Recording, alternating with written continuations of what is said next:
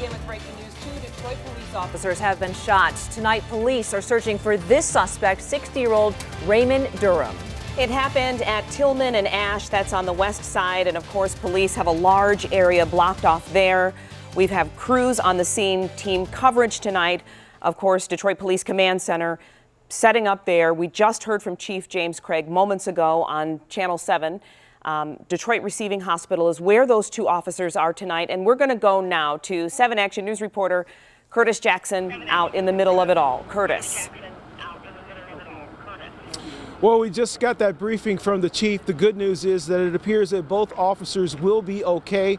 One officer suffering a gunshot wound to the ankle, the other officer suffering a gunshot wound to the neck, and also one of the officers was hit in the chest but did have one of protective vests, and that is believed to have saved his life. Essentially, there were special operations officers working in the area that you mentioned.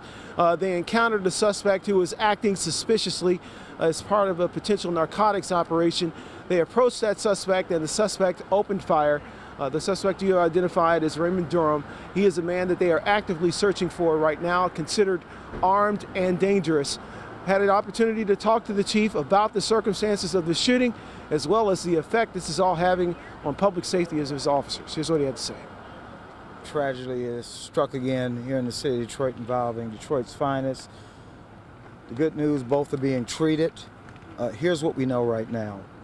8.15 tonight, um, two of our officers assigned to the 3rd Precinct Special Operations was working in, ironically, in the same area where uh, Collin Rose was fatally shot.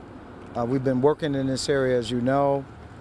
So two of our officers, one with 20 years seniority, another with four years uh, in this area, saw a suspect uh, in the vicinity of a, a narcotics location. Uh, what drew their attention to him, he was acting fidgety, moving around. They got out to investigate further. When they did so, they went to approach to try to identify the suspect. The suspect uh, then reached in his pocket, pulled out a gun, firing shots at both officers. Good go. All right, as you heard, Chief Craig there giving us the update on everything that is going on with respect to searching for that shooter. As you may have heard, and uh, he did mention the fact that this was in the same area uh, where Wayne State University police officer Collin Rose was shot and killed. We wanted to know if those two things were possibly related, if this uh, case that they were working on tonight was related uh, to the shooting of Officer Rose. The chief says that they were working in on that investigation at the particular time uh, that this happened, but he did not provide any specific details about ex uh, exactly what they were doing or how it related to the uh, killing of Officer Rose. So again, we have two. Uh, Detroit uh, police officers who are in the hospital here recovering from gunshot wounds. They are expected to be okay. We have one officer suffering a gunshot wound to the neck, another officer suffering a gunshot wound to the ankle, one officer life saved by a vest uh, after two bullets also hit him in the chest as well. Uh, we are going to continue to follow this story throughout the evening, bring you any updates as they come in. Uh, Chief Craig has told us that he will come out and update us as the information becomes available. But again, the good news out of this is that these officers look like they're going to be okay. Live in Detroit, Curtis Jackson, 7 Action News. All right, Curtis, thank you. You know, Chief Craig did tell us that family of the officers are being notified. He did mention one, a 20-year veteran, the other on the job for four years. So this all happening at one time as Curtis standing there at the hospital, where family, I'm sure, is arriving. And what the good news is, they are. It sounds like they are going to be okay, and I'm hearing now from sources that they are they are stabilized. So okay. hopefully that their recovery will continue. We're going to go now to Brianne Palmerini, who is live at the command center that's been set up near the scene. Brianne, what can you tell us? Well, Heather and Glenda, the scene here has really changed since we've been here. There are so many cars filling the street now. They do have the mobile command post up here, and there are dozens and dozens of officers here. When we first arrived, they had just had some streets blocked off in certain areas. This is the scene where the shooting happened. It's just down one of these side streets here at Tillman and Ash. We are on Michigan Avenue now. It's again, it's like a parking lot here with officers' cars. They have a lot of unmarked vehicles out here right now. I was told to kind of be careful with what video we show of some of the officers that are out here. A lot of them work undercover. So At this point, we do know that the helicopter has been up in the air, that's been kind of circling continually since we've been out here for the last hour or so. And also, officers just driving down all of these side streets with their flashlights out, their big lights, looking all around. We originally were much further into the scene, but um, we were in the way of the investigation. Officers pushed us out several times. So we're, we're out here now. This is where the media has been kind of pushed back onto this side of Michigan Avenue. And there is just a large contingent of police officers out here as they continue to investigate. We're still hearing the helicopters fly. We do know that they are searching, actively searching for someone. We can see them out here looking. And then Here's a picture of that suspect again, Raymond Durham. He is the man police are looking for right now, and hopefully as we show this picture, as we air his name, as the officers continue to search, somebody calls in and gives police the information they need about this man. Of course, we're continuing to stay on top of this as we can, you know, bring you any information as we get it. Right now, they have a command post set up back here, uh, dozens of officers in tactical gear. We're seeing a lot of them go into the neighborhoods, again, shining their lights. They are actively searching right now. But of course, we will continue to keep you updated from the scene. We'll send it back into the studio. All right. Thank you so much, Brianne.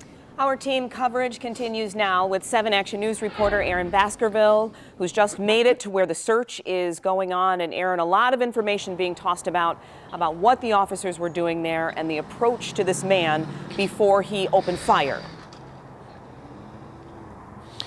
Yeah, of course, this is a very fluid situation. A lot of information still coming in. We're a little bit closer to the scene right now. We're near Ash and Williams. The scene is just about a block up we can sneak around. You can take a look over there. You can see the caution tape blocking one of the uh, police vehicles and it may be hard to see but there's also a bunch of cones around that vehicle maybe marking where some shots were fired if we take a look over here you can see some more officers they've been walking up and down Williams for a while going behind uh, houses shining flashlights. But just like Brianne said, we're somewhat near the scene and just very busy out here. Uh, the streets are absolutely blocked off. You can't get anywhere. Uh, a big, almost armor type vehicle just made its way down the street just about five minutes ago before we came on live. But this is the area. This seems to be the hub right now where most of the officers have centered. If you take a look back down here, Adam, if we can go down Ash to the left side of your screen, you can see just about a dozen officers or so. Those are the guys and women who have been going up and down these streets looking for anything. Also, another note that's very important, especially for folks in this area that have been driving around, cops have been stopping every single car that comes in and out. We've seen them pop the trunks, looking in there, opening up car doors, trying to see if anybody is possibly hiding in some of these vehicles that are making their way around this area. But the helicopter, you can see it over there. It's it's hovered over there in the air. It's been circling for a while, but now it's been kind of getting lower and lower as it continues to circle. And like I said, you could this is what we've been seeing the whole time. Just vehicles, some unmarked, some marked, lights flashing, more over here that are coming down. And that, this is all we've been seeing. So we're going to continue to stay here for a little while. But right back there, that seems to be the hub in the center where the caution tape is, and one of uh, Detroit's police cars has been blocked off, and a bunch of cones on the ground, and a door open down there, marking maybe the spot where this all went down. Let's send it back to you guys in the studio. We'll be out here for a little while longer. All right, thank you so much, Sharon. Certainly a huge presence there. The chief mentioned FBI, Wayne State, lots of agencies out there helping. helping. Yes, Aaron, thank you. Well, here's what we're learning about the suspect. Detroit police have given us the name and picture of Raymond Durham. He's 60 years old.